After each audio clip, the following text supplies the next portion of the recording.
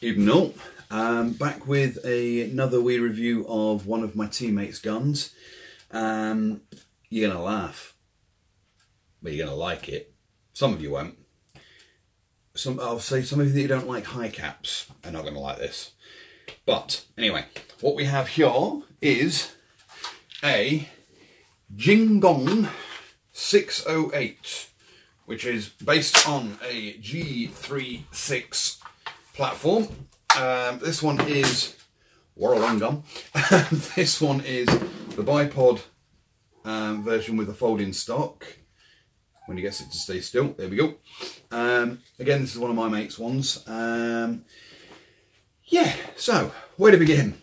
First off, as you can see, it is a little bit longer than a, oops, than a standard G36 style rifle, and it's got a nice little foldable stock which folds right back onto the handguard. Good little gun, good little gun. Um, right, obviously you've got the, I'll bring it down here, there we go. The, uh, what's this thing? Stock. Stock folds the same way that it does on most G36 models. You've got a button, back end here, push it in, stock folds round and clicks in place. It's fairly secure. To release it again though, you just lift the stock up a little bit and it'll loosen it off and click it into place. Uh, controls are ambidextrous. You've got safe, click, semi and full auto down at the bottom and that is same on both sides. It's got no battery in this so I'll play with the trigger as much as I like. Um, but yeah, safe semi, full auto in reverse there and both sides. The mag release is box standard G36 style, which is just here. Push it forwards, mag drops out. In fact, I've got a mag here to show you. There you go, magazine in. That's part of the reason some of you aren't going to like it. And push mag release forwards and it drops back down. Job done. Um, the charging handle technically is non-functional, so it doesn't charge the gun, but it does allow you to open up and I'm going to bring this towards you so you can see. Here we go. Charging handle does pull to the rear to enable you to open this plate here to see the radial hop up. There we go. In there, just there. I've just deafened you, sorry. Um, so it is, yes, it is a fully adjustable hop up. Now obviously, as you can see, this has got a little red dot on it, but uh, it doesn't come with that naturally. Um, on the back you have adjustable, I keep moving, adjustable rear sights, which are, the apertures are adjustable. Um, up and, well, higher, lower, and they do adjust left and right. Front sight is fixed and it stays there. Um, uh, it takes uh, small Tamiya style. In fact, I'll show you because I've had this one in pieces recently. I've just got to remember how it comes to pieces. Um, he says, does this come to pieces? I can't remember now. Ah, here we go. There's a push button just here a push button, a pin, body pin, and then come out. Oh, hang on. And then the mid legs folded down. There we go. Slides completely off, and I've just taken the fuse terminal off, which is Oops. really smart.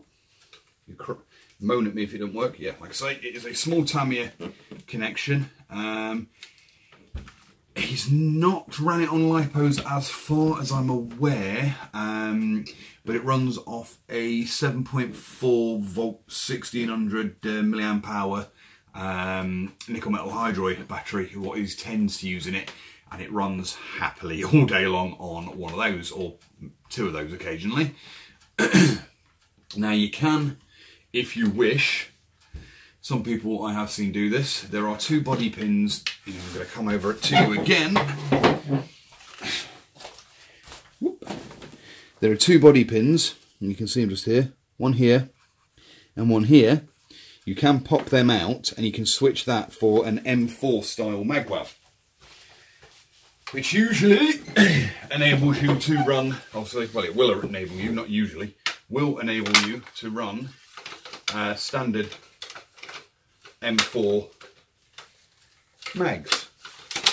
Yeah, let me just get this back in. What have we done here? There we go. Let me put this back together before, right. yeah, which will allow you to run M4 style mags. Now, oh, what my mate's done, which is the other reason you people here that uh, don't like high caps are not going to particularly like me, um, is not only does he run it with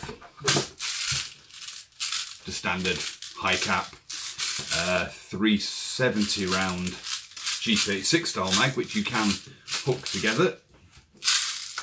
You can stack them up. He's also managed to get hold of that. A 1500 round auto winder magazine that fits G36. Needless to say, he kind of likes to run this as more of a support weapon.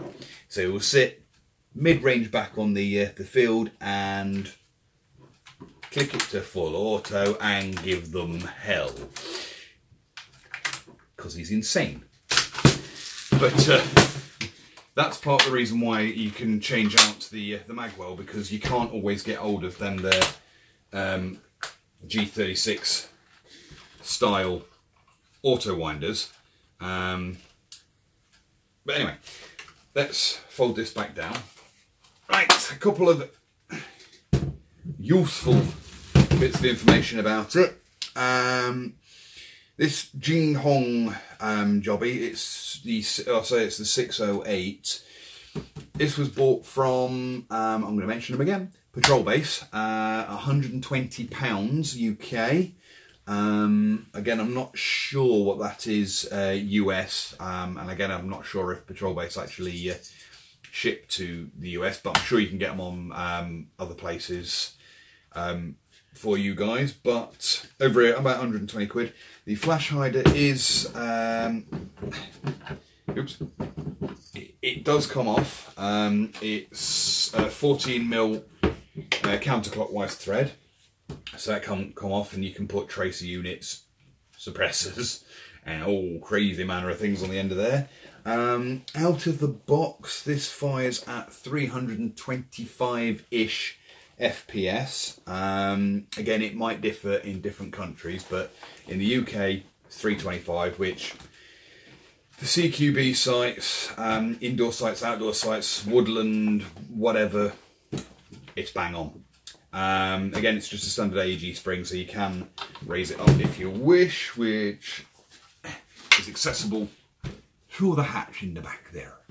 Um, so you can just take uh, to that spring and put a slightly beefier one in if you want to raise it up closer to the 350. Um, on the sites I've been looking at, most of them do suggest a 0.25 gram BB. Um, to be used in this. Um, I do believe that's what Bonza's been using. Yes, it's one of Bonza's guns again. Um, he's been using 0.25s in it. Runs happily all day long. Scares the living bejesus out of people when you come round a corner with... Well, when they see your gun four hours before they see you come round the corner. But uh, it has the desired effect. Um, like I say, it's quite a funky actually. It does actually work really well as a support gun. Um, I've run with him before. He didn't actually have the giant mag. He was only running that. His, his tactical maracas. Um, but yeah, he only had that. But it does work really well as a support gun because it's got a pretty peppy um, rate of fire. I think it fires at about nine, 17 or 18, maybe 19 rounds per second um, at even 325 FPS. 19 rounds per second is still a quite a lot of, uh, of ammo coming at you, but uh, yeah, um, not a great deal more, like I say about it, like I say, because it is It's, it's basically a long barrel G36C um, with a bipod and a scope and a whacking great mag. But like I say, if you want to find anything else out about these, um, buy them, shipping costs, all that sort of stuff, like I say, um, search Jing, J-I-N-G, Gong, G-O-N-G, um, and it's the G608, that's Golf 608. Um, and you'll find all the different places that stock it, sell it, ship it, the whole kit and caboodle, and you can get um, more in-depth uh, tech specs about it. I've not actually had this one in pieces, so I can't give you a huge amount of tech specs, and he won't let me take it to pieces either. Um, but either way, that's it um, for now, and um, yeah, thanks for watching.